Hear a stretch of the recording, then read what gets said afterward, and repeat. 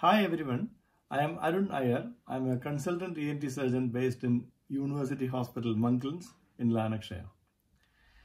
I, along with my colleagues May Yaneza and Nick Calder, have developed a technique to reduce aerosol formation when performing flexible endoscopic examination of the nose and larynx. This uses resources that is already available in the hospital. So I'll show you what the things you need.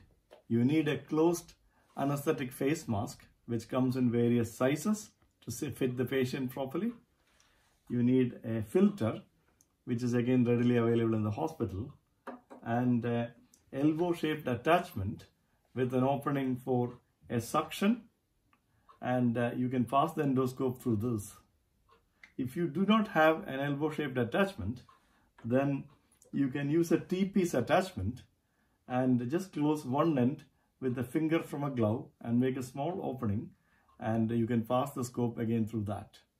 In order to hold the mask in place, the best uh, method is to use a CPAP mask holder and again this is available in most of the hospitals. But if you do not have a, a CPAP mask holder, then you can substitute using a linen tape uh, which is used again in the anesthetic department for holding the endotracheal tube in place. I will now show you how this is done on a simulation model. You have to wear first full PPE before you do this and uh, make sure that uh, um, there is uh, everyone around you is also protected.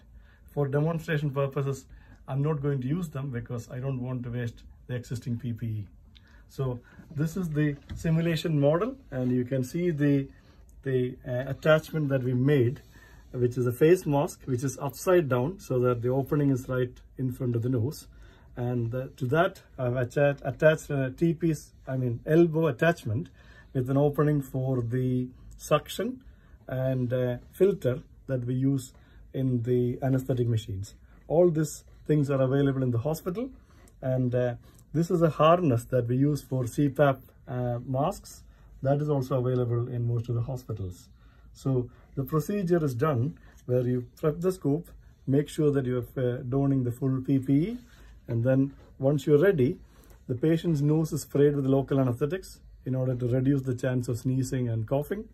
And uh, then open this attachment and immediately put the scope in and then gradually pass the scope into the area near the nose and then since it is a straight line it goes in and then gently advance the scope and examine that area. I can see the nasopharynx now and then passing the scope beyond the nasopharynx and I can see the whole of the larynx very clearly and uh, you're able to manipulate the scope just like you would in a normal situation.